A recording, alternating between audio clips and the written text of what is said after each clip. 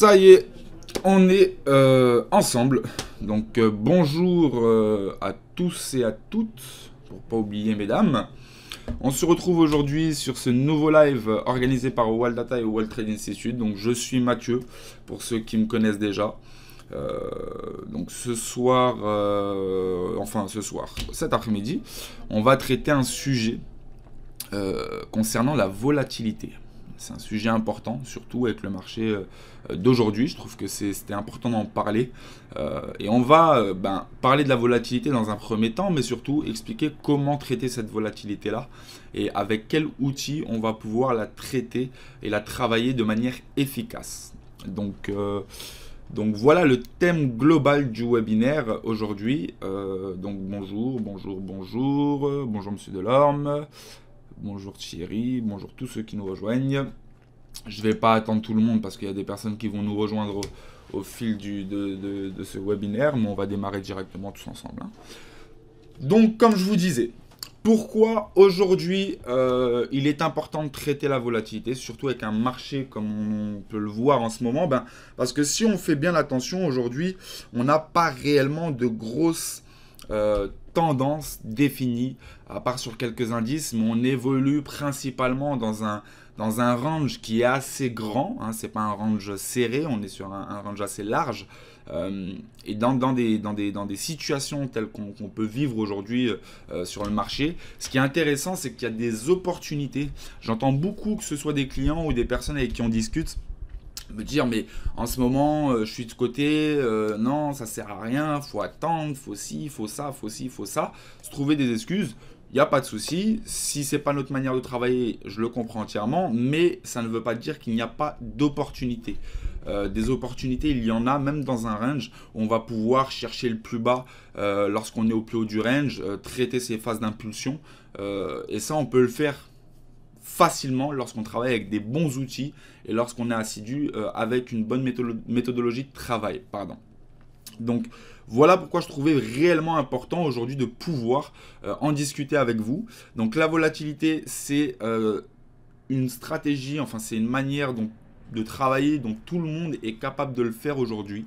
Euh, chercher une phase d'impulsion, chercher euh, vraiment une phase d'accélération pour pouvoir profiter, même si euh, c'est pas sur une longue période. Ben, chercher cette petite phase d'accélération qui va nous permettre de pouvoir profiter pleinement ben, du marché et de retirer des bénéfices juste derrière. Donc il y a des manières de le faire, il y a des manières où ça peut prendre beaucoup plus de temps, il y a des manières de le détecter où on peut regarder plusieurs indicateurs différents et chercher comment comment le faire. Mais on a euh, chez Wildata développé une méthode qui simplifie tout ça en fait. Une méthode qui s'appelle Volatility Band Advisor, donc VBA euh, plus facilement, qui va permettre de pouvoir traiter, travailler la volatilité sur les marchés. Et c'est quelque chose de très important parce que c'est vraiment la, la, volatilité en fait, qu'on soit dans un marché à tendance, qu'on soit dans un marché euh, à range, peu importe la, situation du marché, euh, qu'il soit euh, dominé par des indécis ou non, on va pouvoir toujours traiter la volatilité. Donc ça, c'est super important. Bonjour Michel. alors, euh, juste avant que je nous mette sur le Wallmaster, n'hésitez pas si vous avez des questions ou autres, allez noter dans le chat. Il est juste face à moi, donc je vais pouvoir répondre à vos questions et ça sera avec un grand plaisir. Donc voilà pour le petit résumé de la volatilité et, et ben, j'ai envie de dire c'est parti. Donc, je vais juste, hop là, vous enlever ça, partir sur le Wallmaster, et puis c'est bon. Alors, euh, la volatilité, comme je vous le disais, euh, ben, elle est importante. On peut la travailler, tout le monde peut la travailler, peu importe son horizon de temps. Maintenant, en ce moment, c'est vrai qu'on va plutôt privilégier euh, des unités de temps un peu courtes, on va être plus sur du 4 heures, euh, de l'intraday, parce qu'aujourd'hui, dans le marché dans lequel on évolue, hein, comme je vous l'ai dit tout à l'heure, on évolue dans un range assez large. Euh, pour les personnes qui travaillent en intraday, il y a plusieurs opportunités sur le marché, et notamment ben, en traitant la volatilité avec une méthode telle que VBA. Pourquoi c'est important? Pourquoi cette méthode-là est réellement importante? Et c'est vraiment une plus-value pour vous, aujourd'hui qui, utilisait le, le Wallmaster XE. C'est parce que ça va vous... Euh, bon, je ne vais pas vous faire le schéma, vous connaissez très bien les méthodes de Wildata. Le but est toujours de gagner du temps dans, son travail, dans, dans le travail d'analyse.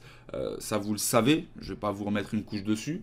Mais euh, au-delà de ça, on va être sur une méthode de travail qui va permettre non seulement de décortiquer chaque phase des accélérations de marché, enfin chaque phase plutôt de, la volatilité des marchés, de pouvoir déterminer quel est le meilleur point d'entrée pour pouvoir rentrer euh, et attraper cette volatilité dès son départ, donc capturer l'accélération du marché dès son départ et pouvoir sortir au bon moment et ne pas euh, ben, se laisser dans le mouvement ou le marché ou l'accélération, enfin du moins la phase euh, de continuation, on va en revenir plus tard, mais s'essouffle.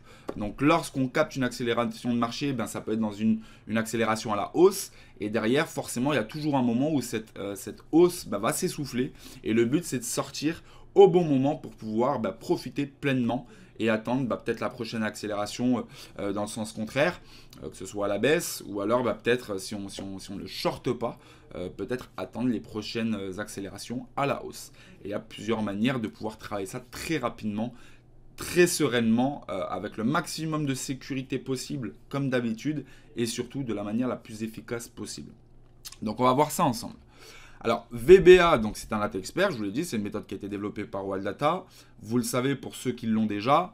Pour ceux qui ne l'ont pas, euh, ben, je vais vous expliquer très rapidement, mais euh, concrètement, comment ça se, ça se compose, comment cette méthode se compose. Alors, vous allez avoir des phases dans une accélération de marché. On a quatre phases. La première phase, alors attendez, hop là, hop là, voilà. On a la première phase qui est la phase, j'ai envie de dire, la plus importante, qui est la phase, euh, ce qu'on appelle une phase de squeeze. Qu'est-ce qu'une phase de squeeze? Euh, bah, la phase de squeeze, c'est quand le marché se contracte. Euh, il est dominé par un groupe d'indécis. Donc les investisseurs ne savent pas réellement quoi faire, s'ils achètent, s'ils vendent. Et plus cette phase est longue, plus cette phase est contractée, généralement, plus l'accélération qui va suivre derrière, que ce soit à la hausse ou à la baisse, va être conséquente. Après, des fois, il y a des exceptions, mais en général, c'est euh, clairement ce qui se passe. Donc, on va prendre, on va prendre des exemples, hein, mais alors, on va chercher une bonne phase. Alors, attendez, parce que, hop là, voilà, là, on est mieux. Euh, on, va, chercher un petit exemple. Euh, ben, on a celui-ci. Je vais vous montrer un bon petit exemple qui peut être pas mal. ah, lui aussi, il est pas mal. Hop. Allez, ouais, celui-ci ou même celui-ci. Allez. Euh, plus concret. Voilà. Donc, ce qui est intéressant, comme je l'ai dit, c'est la première phase, donc ce qu'on va appeler la phase de squeeze. Hein, je vous l'ai dit. Une phase de contraction du marché où euh, ben, le marché est dominé par les indécis. On ne sait pas trop ce qu'on va faire, si on achète, si on vend. Et cette phase-là est déterminante.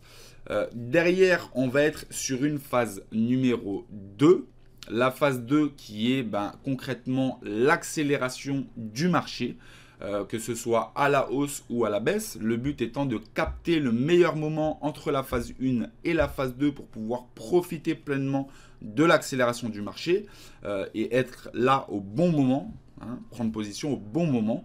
Et ensuite, on va être dans la phase 3 qui est la phase de continuation. Donc la phase de continuation, euh, on va prendre pour exemple, on va se mettre je vais le mettre là, hop là, hop. Donc là, on sait qu'on est dans une... On va prendre tout simplement celle-ci ou, même celle-ci. Allez, euh, allez, on va prendre là. On sait qu'on était dans une... Ah, attendez, je vais prendre encore mieux. On va faire... Euh, allez, voilà. Là, on sait que clairement, on est... Alors, je vais vous mettre la petite flèche à ce niveau-là, on est euh, ben, dans une phase de contraction, donc une phase de squeeze. Le marché est contracté, dominé par les indécis. Et juste derrière, eh ben, on a euh, une catégorie de couleurs qui est un vert très vif. On voit où on rentre d'un coup dans une phase d'accélération haussière Donc le but étant de se positionner au meilleur moment. Là, on le voit. On a un signal haussier qui nous est donné, donc un point d'entrée optimal proposé par la méthode VBA, de manière à pouvoir anticiper cette accélération-là. Donc toutes les, si on voit à partir de ici, toute cette partie-là, l'anticiper euh, et ne pas rentrer au cours de la tendance, ou encore ici, là c'est vraiment cette phase-là, la phase un peu vert clair, ce qu'on appelle la phase 3, donc je vous disais la phase de continuation, où la tendance est clairement déjà euh, définie. Euh, et derrière, vous avez, euh, bah, en fait, c'est comme si je prends un petit groupe, le groupe avance et il y a deux trois retardataires qui arrivent, donc ça, ça, ça complète le groupe. Mais bon, le travail a déjà été effectué en amont. Alors oui Serge, euh, la phase de squeeze, c'est la phase bleue. Donc en fait, je vais vous faire très simple. Le module VDBA, il va, vous, il va décortiquer les phases en quatre couleurs. Vous avez la phase bleue qui va représenter les phases de squeeze, donc les contractions de marché, ce qui précède l'accélération.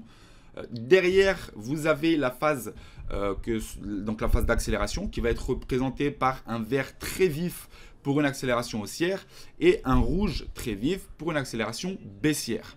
Et ensuite, vous avez les phases de continuation, donc la phase 3, où euh, vous allez être ben, toujours, si c'est haussier, dans un vert, mais un peu plus pâle, enfin beaucoup plus pâle. Et euh, également pour les phases euh, de continuation baissière sur un rouge pâle également. Et derrière, vous avez la dernière phase, qui est la phase de clôture.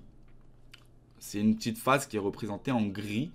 mais en général, Bon, après ça, on, rentrera dans le détail un peu plus tard, mais euh, les phases de clôturation, c'est même euh, bien de, pouvoir sortir avant, enfin avant légèrement, ou, dès que vous voyez que vous arrivez en, phase de, en fin de phase de, continuation, vous avez la phase de clôture. Si vous pouvez sortir au bon moment ben, entre les deux, comme on le voit juste ici, c'est magnifique. Comme ça, vous n'êtes pas au milieu ou à la fin de cette phase grise-là. Euh, et vous, euh, bah, vous, vous, optimisez votre timing d'intervention sur la sortie également. Donc vous avez ces quatre couleurs, ces quatre phases. Je répète, phase de squeeze, contraction du marché. Phase d'accélération où on a une bonne propulsion, haussière ou baissière, peu importe. Phase de continuation où la tendance, peu importe qu'elle soit haussière ou baissière, commence à s'essouffler. On continue encore légèrement à avancer, mais on sait qu'on arrive sur la fin. Et derrière, on a la phase de clôture ou quoi qu'il se passe, hop, plier, plier bagage, encaisser, et c'est bon, tout est réglé. Donc c'est vraiment, on, a vraiment décortiqué ces quatre phases qui sont bien spécifiques. Ce qui est intéressant, le Wallmaster XE, il va vous proposer une phase de squeeze. Euh, les phases de squeeze, on peut les, on peut, euh, là on va parler des phases de squeeze après des différentes, mais la phase de squeeze, on va pouvoir la détecter de plusieurs, de plusieurs manières. Vous avez les phases de squeeze via les bandes de Bollinger, hein, ça je pense que vous connaissez à peu près tous. Vous avez euh, également les phases de squeeze, euh, ce qu'on appelle un squeeze, de, squeeze de Carter, hein, que vous voyez ici également sur les petits pointillés. Et vous avez les squeezes via euh, l'indicateur développé, l'ADX, c'est un petit indicateur développé par Wadata. vous le voyez ici, hein. il est juste en bas du graphique. Donc vous avez ces trois possibilité de détection pour une phase de squeeze. Ce qui va être intéressant en général, ce qu'on va préconiser euh, avec le Wallmaster XE, c'est qu'une valeur comme accord, lorsque vous avez, vous voyez là on est en phase de squeeze ici, lorsque vous avez une phase de squeeze qui est détectée sur les trois indicateurs de manière simultanée, c'est plutôt intéressant. Vous le voyez dans le Market Analyzer, très rapidement vous avez toute l'information. Je sais que ma phase de squeeze a été détectée sur les trois indicateurs en même temps. Ma phase de squeeze dure depuis 7 barres. Là, en l'occurrence, je suis sur une unité de temps de 1 jour, donc ça fait 5 jours qu'on est rentré dans cette phase euh, de squeeze. Donc le marché est indécis. Euh, si ça continue, faut se tenir prêt. Là, on voit euh, sur Capgemini, on voit que la phase de squeeze a été détectée sur deux indicateurs à 3 et que la phase de squeeze est plus récente. Bon, à deux jours près, mais elle est plus récente.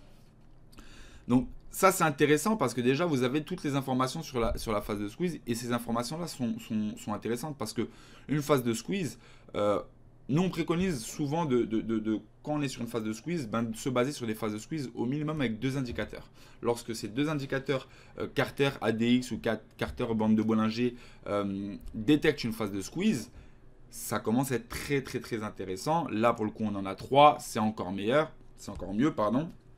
Donc, vous, euh, avez toute la formation de cette phase de contraction du marché qui euh, va vous permettre de très rapidement vous dire, ok, je prends l'exemple de accord, accord, ça peut être très intéressant, il va falloir que je la mette de côté pour pouvoir me focus dessus par la suite et suivre son évolution pour pouvoir anticiper au mieux l'accélération du marché.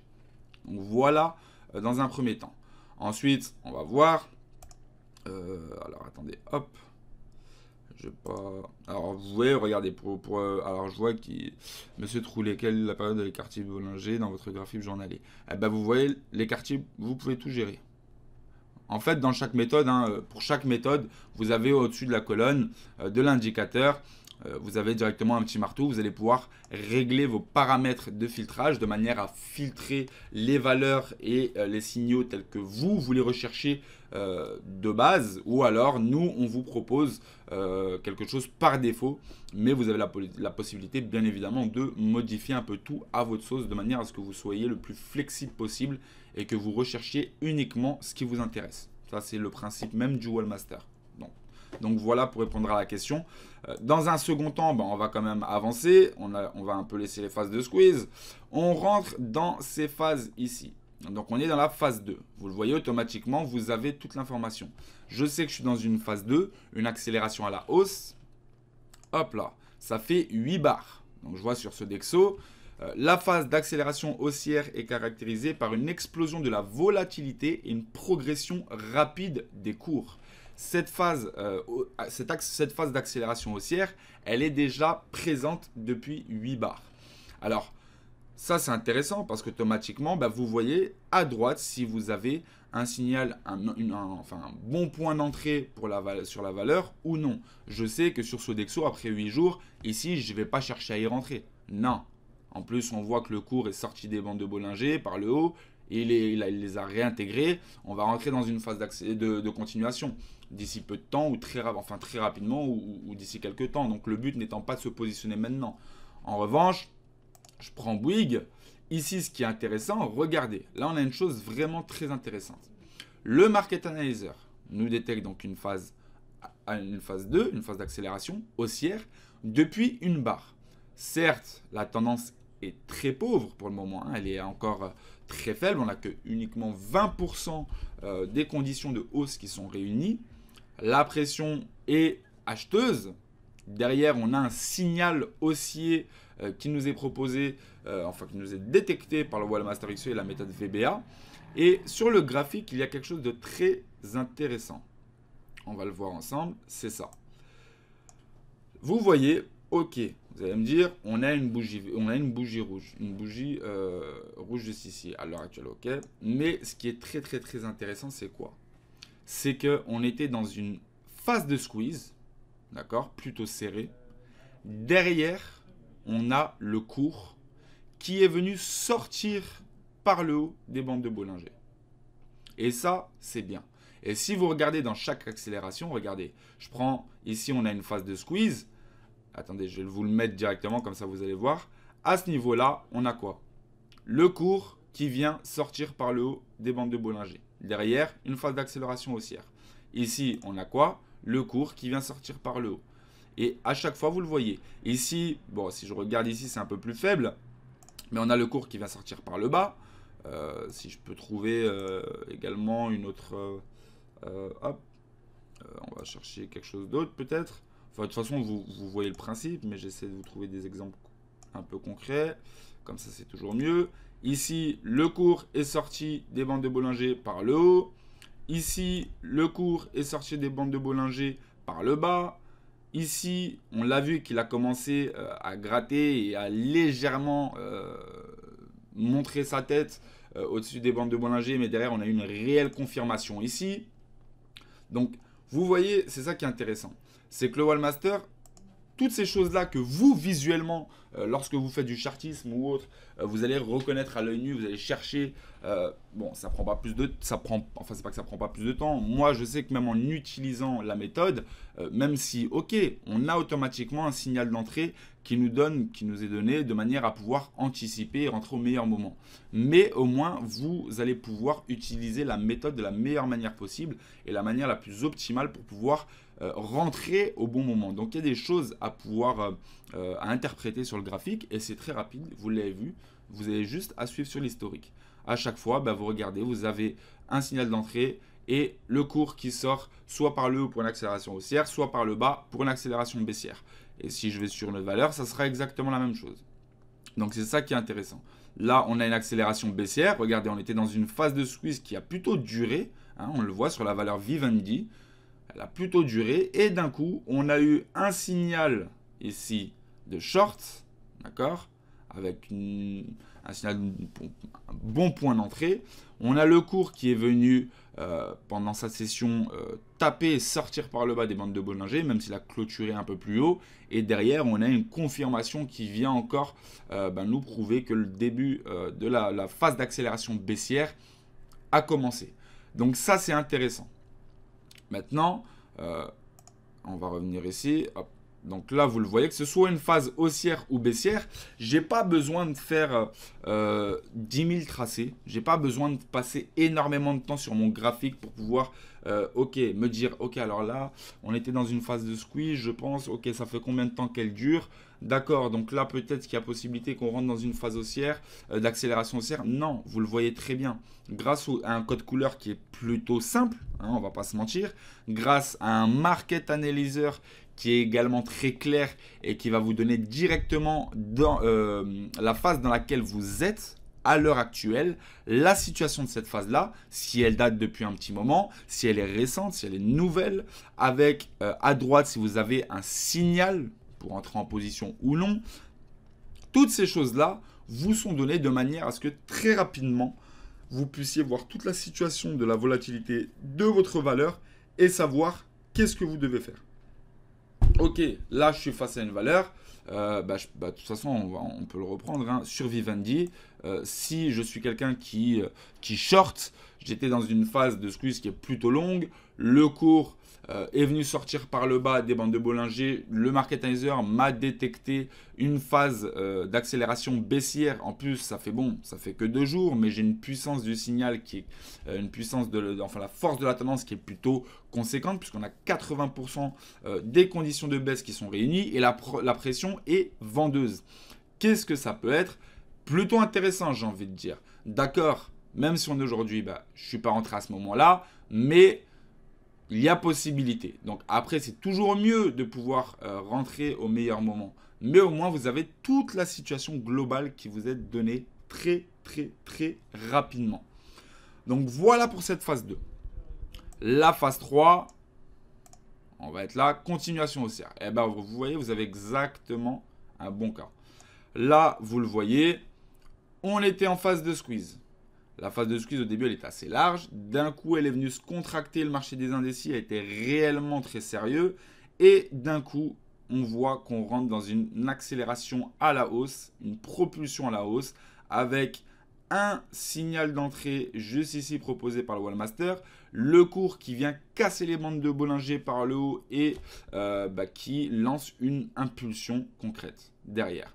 Et derrière, bah, on a euh, ici vous le voyez, une accélération à la hausse, enfin une accélération, une phase de continuation à la hausse, bah pour le coup qui a plutôt duré, mais là on sent, là on le voit, elle commence réellement à s'essouffler, donc là on sait que dans pas longtemps on va se préparer à clôturer sa position. Il y a des personnes qui vont le faire avant, il y a des personnes qui vont attendre, mais au moins vous savez exactement dans quelle phase vous êtes et vous savez, vous savez en fait comment vous comporter face à la valeur.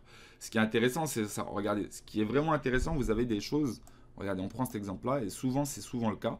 Vous le voyez, pour l'accélération, j'ai ma bougie qui vient casser par le haut. Elle sort et là, elle réintègre ici. Donc, quand elle réintègre ces moyennes-là, eh ben, vous sentez que on est vraiment sur une tendance qui s'essouffle. Et là, c'est exactement la même chose.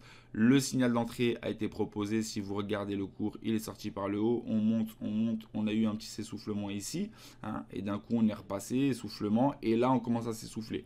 Là, on sait que sur les prochaines bougies, euh, et le Wallmaster avec la, méthode VBA va commencer à resserrer sa phase de continuation. Et on va finir dans la dernière phase qui est la phase de clôture, où il faut tout prendre et partir. Donc là, la personne qui est rentrée à ce niveau-là, euh, elle a été plutôt pas mal. Euh, lire l'entête des colonnes. Ah, excusez-moi, monsieur Falbo, comment allez-vous? Euh, Alors, l'entête des colonnes. Donc là, vous avez la première colonne où c'est marqué analyse des phases. La première colonne va vous permettre d'identifier la phase dans laquelle vous êtes. Phase 1, phase 2, phase 3 ou phase 4. Donc là, c'est vraiment euh, une phase de, enfin une, colonne où on va détecter et tout simplement comprendre où on est. La deuxième colonne, c'est la détection des signaux. Donc, on va pouvoir savoir si une position était ouverte. Je sais que quand je suis dans une phase de continuation, bah, derrière, ma position, c'est pas là où je vais avoir un point d'entrée. On a une position déjà ouverte. On voit depuis le début de l'accélération. Si je regarde, regardez, c'est aussi simple que ça. Depuis le début euh, de la phase d'accélération, on a fait, euh, il y a plus 3,56%. En considérant que l'achat a été fait au début de la phase d'accélération. D'accord? Donc c'est ça qui est intéressant. Donc là, vous avez automatiquement sur ces deux colonnes toute la situation. Maintenant, ce qui va être intéressant pour une personne, euh, pour un investisseur, c'est pas de perdre son temps avec les phases de continuation. Euh, si vous ne shortez pas et vous ne vendez pas à découvert, ça ne va, ça ne va pas être de capter des accélérations à la baisse. Vous, ce que vous allez rechercher, ça va être de chercher des phases bien spécifiques. Donc, en fait, sur votre colonne analyse des phases, vous allez aller sur le petit entonnoir et très rapidement, vous allez chercher quelle phase vous intéresse. Donc moi, je veux toutes les phases de squeeze avec uniquement des phases de squeeze qui sont euh, supérieures à 10 bars. D'accord? Euh, ou, enfin ouais, ou même, même 7 bars, peu importe, mais vous, vous, choisissez exactement ce que vous voulez. Donc là, on va dire supérieur à 10 bars ou supérieur à 7 bars. Euh, parce que ce qui est intéressant, c'est qu'une phase de squeeze dure longtemps. En général, il y, a des, exceptions, mais en général, plus la, la, phase de squeeze dure longtemps, plus c'est intéressant. Et là, je vais lui demander, admettons, ben, phase de tendance est-ce que je veux des phases euh, de continuation? Non, ça ne m'intéresse pas. Est-ce que je veux les phases de contraction? Peut-être que je peux garder ces phases-là pour peut-être me dire, bah là, il y a une contraction qui vient d'être effectuée. Je vais regarder comment se comporte la valeur derrière. Est-ce. Parce que des fois, vous avez une phase de contraction et juste derrière, une très petite phase de squeeze et on repart. Donc, c'est ça qui est intéressant. Euh, vous avez vraiment filtré ce que vous voulez. Maintenant, moi, on va considérer que je ne veux uniquement euh, les phases de squeeze et on va dire allez les phases d'accélération par contre euh, inférieures à 3 barres. Voilà. Je veux ça c'est bon. Hop voilà. Je valide. Je reclique sur mon market analyzer de manière à ce qu'il recalcule et qu'il me sorte uniquement ce que je lui demande. Et voilà. Donc là vous le voyez j'ai une phase de squeeze qui dure depuis 10 bars donc là ça peut être intéressant parce que je vais peut-être mettre Sanofi de côté, c'est sur la valeur Sanofi, je vais peut-être la mettre de côté, regarder comment la valeur va se comporter dans les jours à venir. Ici, ben, très simplement, j'ai cette phase numéro 2. Alors là, c'est magnifique. Sur cette valeur-là, on a eu une phase de squeeze. Le cours ici est venu casser la bande de Bollinger par le haut. On a eu un signal euh, d'entrée en position, enfin signal haussier. Et derrière, on vient de confirmer clairement le début de l'accélération haussière. Donc là, ça peut être une valeur très intéressante. Après, bah, je vais peut-être venir chercher sur du long terme, enfin tout le temps, je ne sais même pas, je vais peut-être, je vais quand même peut-être ouvrir un graphique, un nouveau graphique avec, euh, avec, euh, hop là, attendez, on va prendre, euh, tendance timing, hein, on va prendre tout simplement, voilà, je me suis trompé de graphique, hop là, hop, euh, voilà. Je vais prendre ça ici et je vais le mettre en onglet. Voilà. Je vais venir le mettre en semaine de manière à peut-être ben, avoir plus de... ou pas mis assez. Hop là. Voilà, on va mettre ça. Voilà, en semaine, de manière à euh, toujours remettre le signal dans son contexte. Alors là, si on regarde bien, hop, je le vois, je remets le signal détecté sur mon, unité, de temps principale dans son contexte avec une vision avec un peu plus de profondeur.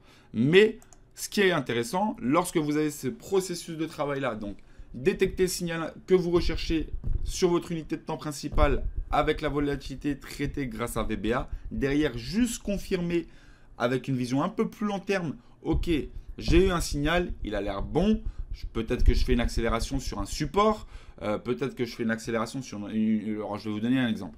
On a, on a cette phase de squeeze là, on a le début d'accélération à la hausse, et en plus, sur un autre graphique, allez on va prendre ça, on va le remettre en jour, euh, jour 2 ans, voilà, et ben vous voyez on a exactement le cas, hop,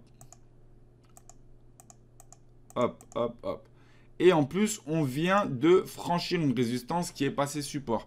Donc là, on a la deuxième bougie. La troisième bougie peut être déterminante. Ou cette bougie-là peut être déterminante. Mais c'est exactement le même principe. Si vous avez une accélération baissière, d'accord on prend, on prend ce cas-là.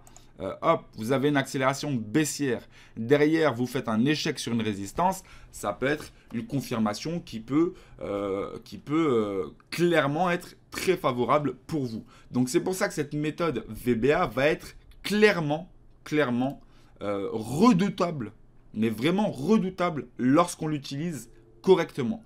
Et c'est pas compliqué. C'est vraiment pas compliqué, vous l'avez vu. Je sais dans quelle phase je suis parmi mes quatre phases je sais si c'est le moment de rentrer ou non. Je confirme sur une vision un peu plus long terme ou via d'autres euh, méthodes, peut-être. Hein. on sait qu'on a beaucoup d'utilisateurs qui utilisent euh, la méthode VBA couplée avec HST ou avec euh, divergence. Sur une détection de divergence, derrière, je regarde s'il y a une accélération. ça peut être aussi intéressant, mais au moins vous avez une méthode fiable et redoutable lorsque vous l'utilisez correctement. Et je vous garantis que ce n'est vraiment pas difficile. C'est comme tout, il faut être assidu et il faut euh, toujours confirmer, confirmer, confirmer au maximum ce que l'on voit. Donc, cette méthode-là, vous avez bien compris, hein, euh, elle n'est pas difficile. je pense que les différentes phases, j'ai pas besoin de vous les répéter et rabâcher, ça va, ça va plus vous agacer qu'autre chose. Mais je veux vraiment, vraiment, euh, j'ai tenu concrètement à faire cette vidéo parce qu'au vu du marché actuel, euh, c'est une méthode qui a beaucoup d'impact. Parce que, ben, comme je vous l'ai dit, lorsqu'on évolue dans un range qui est assez large, il y a des allers-retours à faire. Je dis pas scalping ou autre, mais il y a des allers-retours à faire, il y a des opportunités euh, à attraper lorsqu'on évolue sur un marché tel qu'on l'a en ce moment. Donc ça peut être vraiment intéressant et c'est pour ça que j'ai voulu vous parler de cette méthode aujourd'hui. Je pense que pour le moment, tout a été dit, tout a été clair. Euh, si vous avez des questions, n'hésitez pas. Surtout pour les personnes qui n'ont pas encore euh, la méthode VBA, je vous le dis, vous avez deux heures. vous avez deux heures pour profiter d'une offre privilège sur cette méthode-là.